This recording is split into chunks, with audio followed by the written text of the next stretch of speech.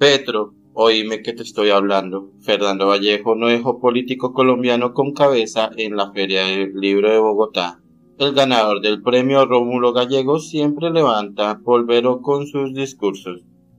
Incombustible, furioso, sin pelos en la lengua y sin miramientos de lo políticamente correcto, el escritor Fernando Vallejo soltó en la Feria Internacional del Libro de Bogotá un alegato contra los políticos, contra las mujeres que quieren parir, contra la religión y contra Colombia.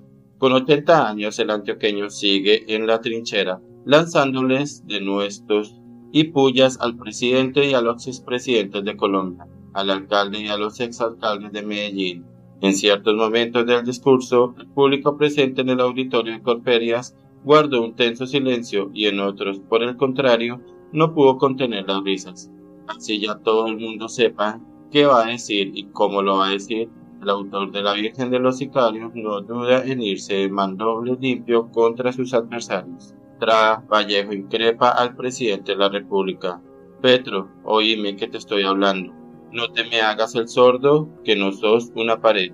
Sos un humano, ciento por ciento humano, muy humano, como tu Colombia humana. ¿Humana? O sea, mala.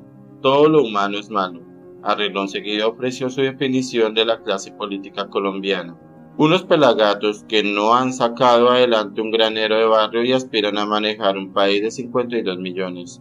No se salvaron de la andanada ni Federico Gutiérrez, ni Luis Pérez, ni Sergio Fajardo. No obstante, de los políticos antioqueños fueron Daniel Quintero y Álvaro Uribe quienes recibieron mayor cantidad de metralla retórica de Valle.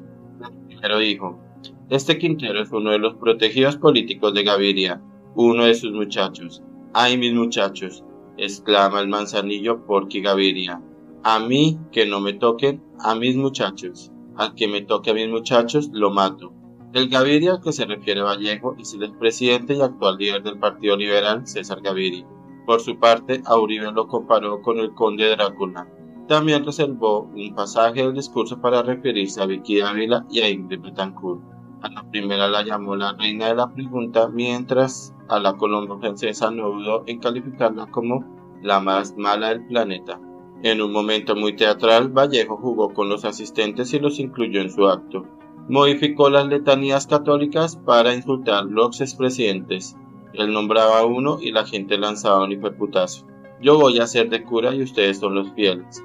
Pero en vez de decir yo las cualidades de la Virgen, voy a ir rezando los porquis uno por uno. Y en vez de contestar usted ruega por nosotros, cada vez que yo diga un por contestan un hijo de puta. Digo otro y contestan otro hijo de puta. Y gustosa la gente aceptó. En la sarta incluyó los nombres de los expresidentes vivos, César Gaviria, Ernesto Samper, Andrés Pastrana, Álvaro Uribe, Juan Manuel Santos e Iván Duque.